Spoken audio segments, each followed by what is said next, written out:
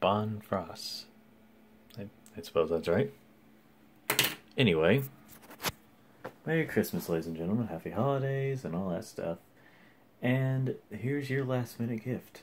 Because this year on this channel has kind of been filled with that. Somewhat. Maybe 25% of it, 50. Anyway, um, thank you for watching this year, ladies and gentlemen. It's been a weird one.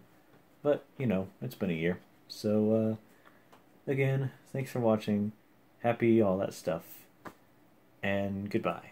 See you next year.